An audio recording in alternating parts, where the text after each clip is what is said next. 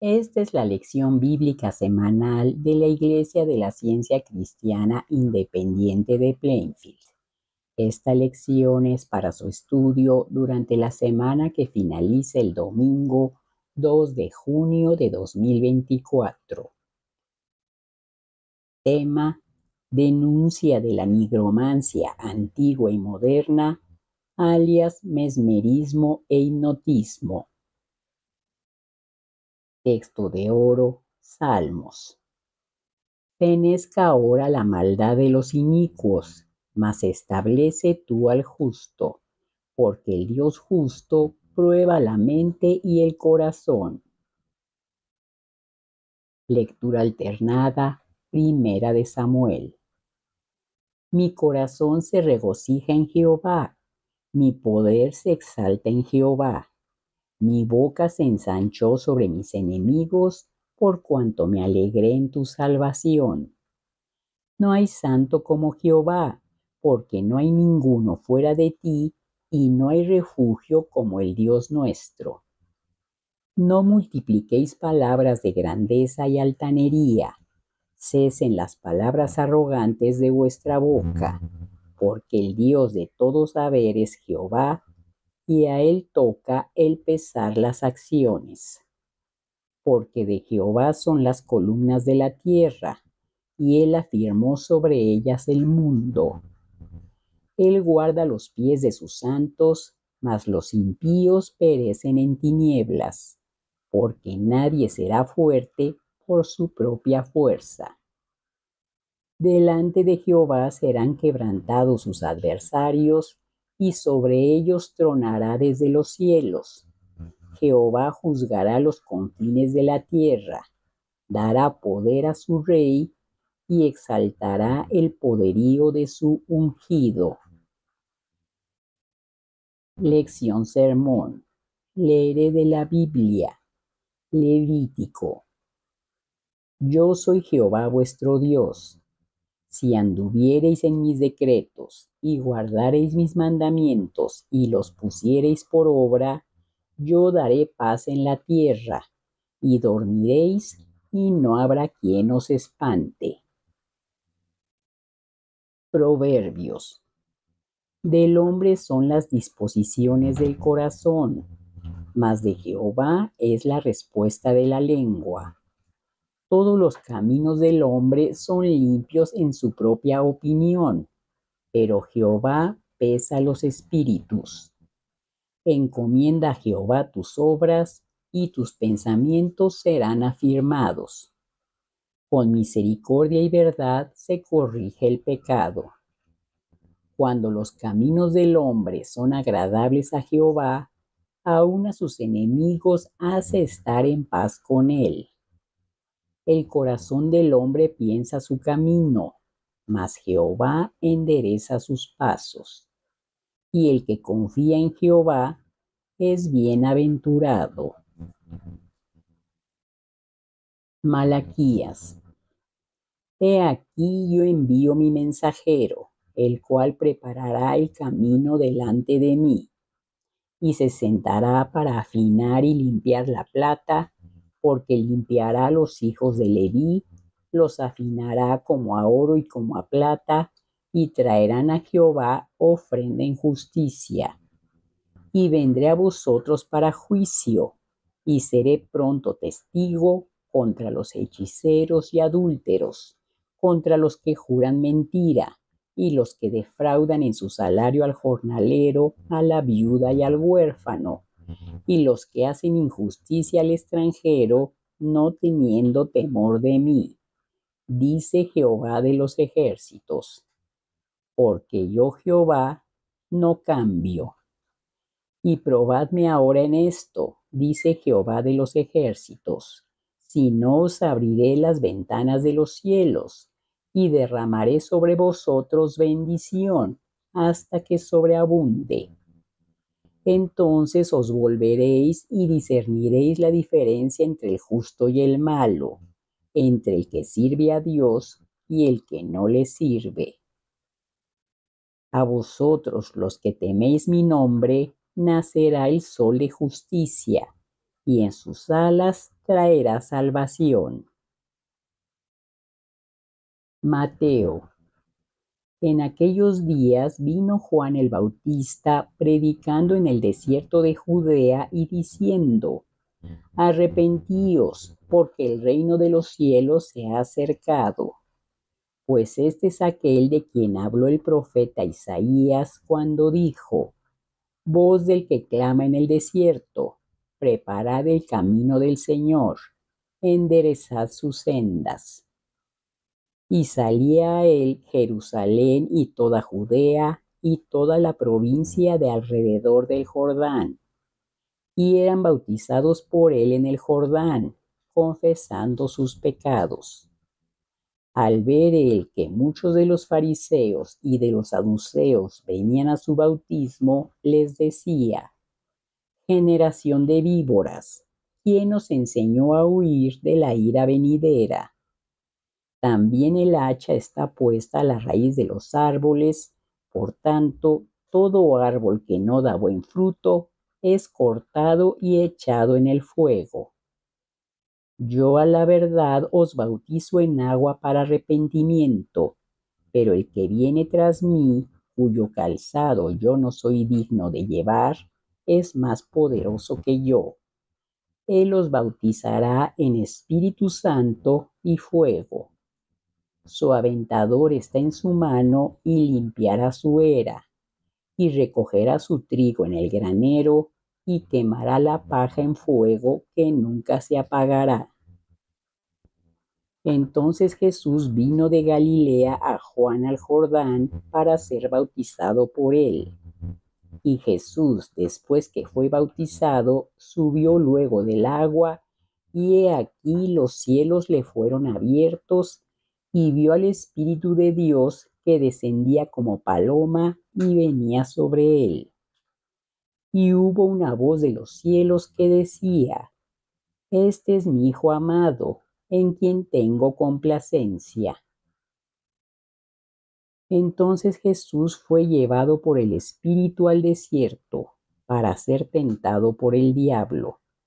Y vino a él el tentador y le dijo, Todo esto te daré si postrado me adorares. Entonces Jesús le dijo, Vete, Satanás, porque escrito está, al Señor tu Dios adorarás, y a Él solo servirás. El diablo entonces le dejó, y he aquí vinieron ángeles y le servían. Desde entonces comenzó Jesús a predicar y a decir, Arrepentíos, porque el reino de los cielos se ha acercado y se le acercó mucha gente que traía consigo a cojos, ciegos, mudos, mancos y otros muchos enfermos, y los pusieron a los pies de Jesús y los sanó. De manera que la multitud se maravillaba viendo a los mudos hablar, a los mancos sanados, a los cojos andar y a los ciegos ver y glorificaban al Dios de Israel. Lucas. Y alguien le dijo, Señor, ¿son pocos los que se salvan? Y él les dijo, Esforzaos entrar por la puerta angosta, porque os digo que muchos procurarán entrar y no podrán. Después que el padre de familia se haya levantado y cerrado la puerta y estando fuera empecéis a llamar a la puerta, diciendo, Señor, Señor, ábrenos. Pero os dirá, os digo que no sé de dónde sois. Apartaos de mí todos vosotros, hacedores de maldad. Allí será el llanto y el crujir de dientes. Y he aquí, hay postreros que serán primeros y primeros que serán postreros. Segunda de Pedro. Así que vosotros, oh amados, sabiéndolo de antemano, guardaos, no sea que arrastrados por el error de los inicuos, caigáis de vuestra firmeza. Antes bien, creced en la gracia y el conocimiento de nuestro Señor y Salvador Jesucristo. A Él sea gloria ahora y hasta el día de la eternidad. Amén. Ahora leeré los pasajes correlativos del libro de texto de la ciencia cristiana, Ciencia y Salud con clave de las Escrituras, por Mary Baker Eddy. En la ciencia cristiana, magnetismo animal o hipnotismo es el término específico para el error o mente mortal. Es la creencia errónea de que la mente está dentro de la materia y que es mala y buena a la vez, que el mal es tan real como el bien y más poderoso. Esa creencia no tiene ni una sola cualidad de la verdad. En realidad no hay mente mortal y en consecuencia no hay transmisión de pensamiento y fuerza de voluntad mortales.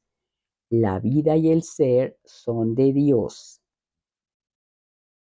El magnetismo animal no tiene base científica, puesto que Dios gobierna todo lo que es real, armonioso y eterno, y su poder no es ni animal ni humano.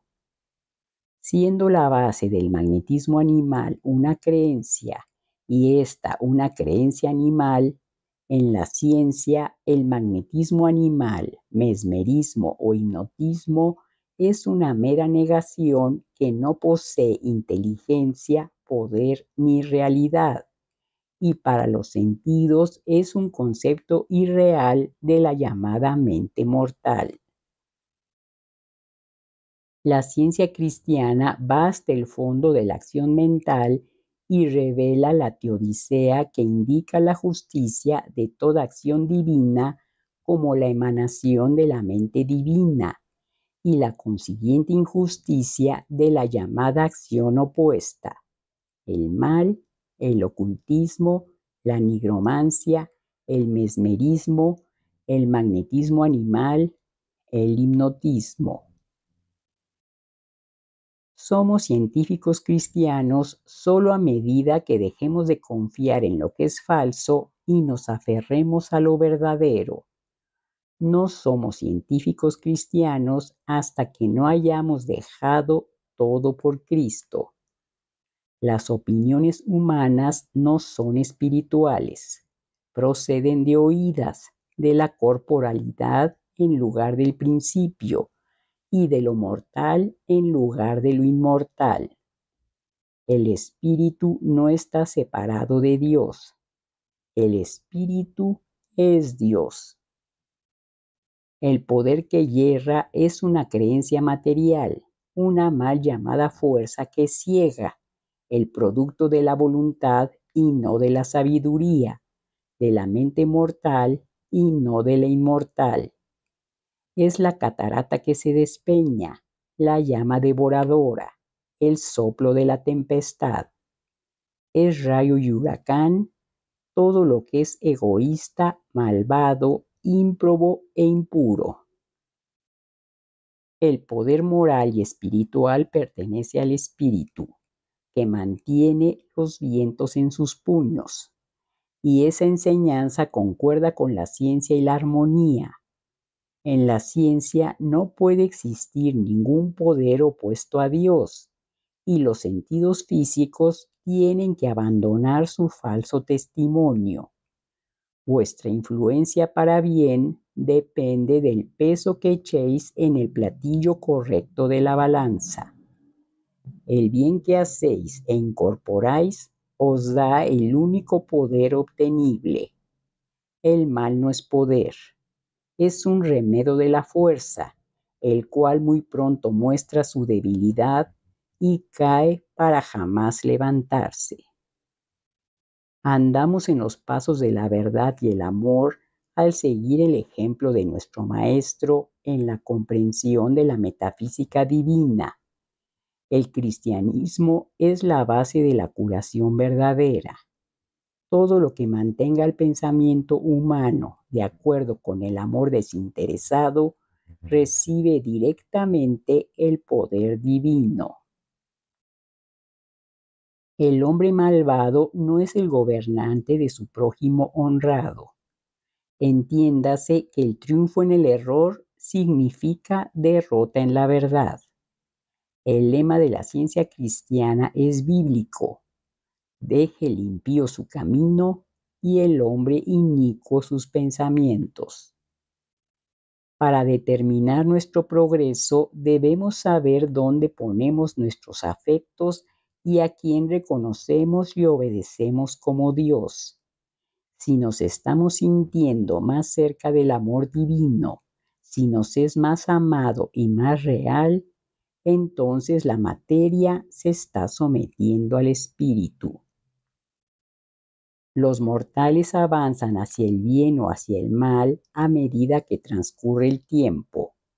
Si los mortales no progresan, los fracasos pasados se repetirán hasta que toda labor deficiente sea borrada o rectificada. Si ahora estamos satisfechos con la maleficencia, tenemos que aprender a aborrecerla. Si ahora estamos contentos con la ociosidad, tenemos que descontentarnos con ella. Recordad que tarde o temprano, ya sea por el sufrimiento o por la ciencia, la humanidad tendrá que convencerse del error que se ha de vencer. Al tratar de deshacer los errores de los sentidos, uno deberá pagar plena y honradamente hasta el último cuadrante, hasta que todo error sea finalmente subyugado a la verdad. El método divino de saldar la paga del pecado consiste en desenmarañar nuestros enredos y aprender por experiencia a distinguir entre los sentidos y el alma. Nuestra mira un punto más allá de la fe debiera ser el encuentro de los pasos de la verdad el camino a la salud y la santidad. Debiéramos esforzarnos por alcanzar la altura del Oreb, donde Dios es revelado, y la piedra angular de toda construcción espiritual es la pureza.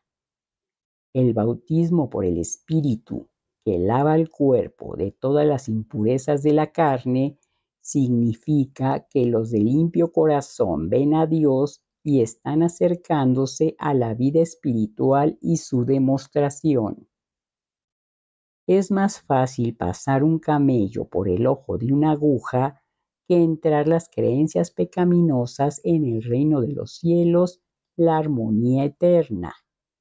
Por medio del arrepentimiento, el bautismo espiritual y la regeneración, los mortales se despojan de sus creencias materiales y de su falsa individualidad.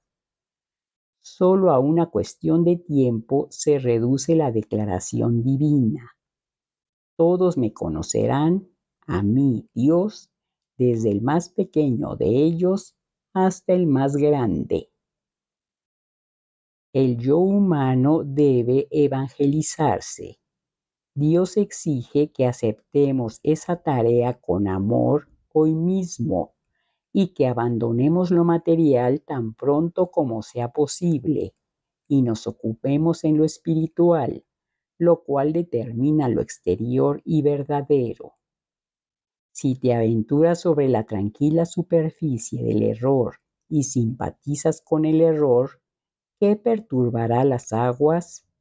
¿Qué arrancará la máscara al error? Si echas tu barca sobre las siempre agitadas pero saludables aguas de la verdad, encontrarás tempestades. De tu bien se hablará mal. Eso es la cruz.